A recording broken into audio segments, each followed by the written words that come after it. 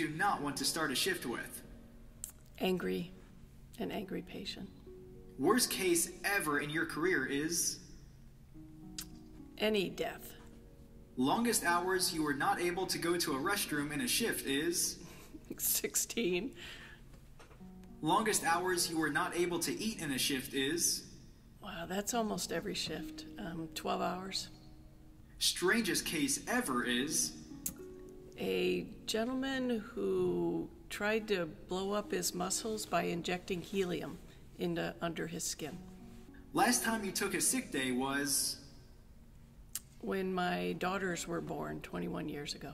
Macintosh or Miller, Oh, Macintosh. Cunningham or scapular rotation, Scapular rotation. Canadian C-spine rules versus Nexus criteria. Nexus criteria. Favorite sedation agent is Etomidate. Normal saline or ringer lactate. Ringer lactate. What is the best thing an emergency physician can do to manage in a crisis? Keep yourself calm. Breathe. What is your greatest hope for the emergency medicine in the next 10 years? That we work harder on staying healthy ourselves. Why emergency medicine is unique? because we see everybody at their greatest hour and their darkest hour, and we take care of anyone. What is your work and life balance secret? I try to give myself grace. I try to do the best I can with what's going on at the moment. How would you react to a trainee who mispronounces your name? I'd correct them. The first emergency medicine book you ever own is Tintinalli's, Favorite snack during a shift is Diet Coke, The toughest period in your career is probably right now.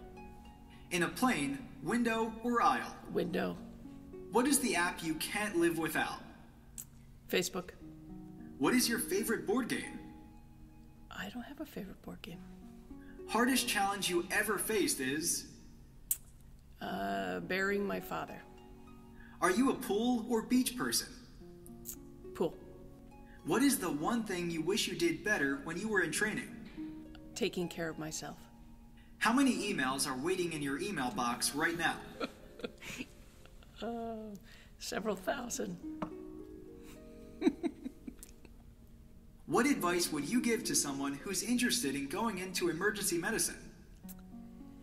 Go into it because you love the detective work, you love getting to meet new people, work with incredible colleagues, and to have an impact on society.